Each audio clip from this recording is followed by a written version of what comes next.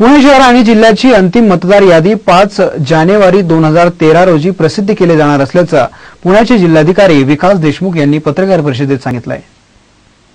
मतदार यादीतील मयत मतदार स्थलांतरित मतदार तसेच दुबार मतदारांची नावे कमी करण्यासाठी विशेष आढावा कार्यक्रमाचं जिल्हा प्रशासनाच्या एक ते एकतीस ऑक्टोबर दरम्यान राबविला जाणार आहे. या मोहिमेत पाच लाख तेवीस हजार आठशे एकोणसत्तर नागरिकांची नावे कमी करण्याचा प्रयत्न केला जाणार आहे. नवीन मतदारांना फोटो ओळखपत्र इपिक कार्ड देण्याचा उपक्रम देखील या कालावधीत राबविला जाणार आहे. पुणे जिल्ह्यातील एकवीस विधानसभा मतदारसंघातील सहा हजार सातशे सतरा मतदान केंद्रात इलेक्ट्रोल रोल मॅनेजमेंट सिस्टीम सॉफ्टवेअरचा उपयोग करून हा उपक्रम राबवला जाणार आहे.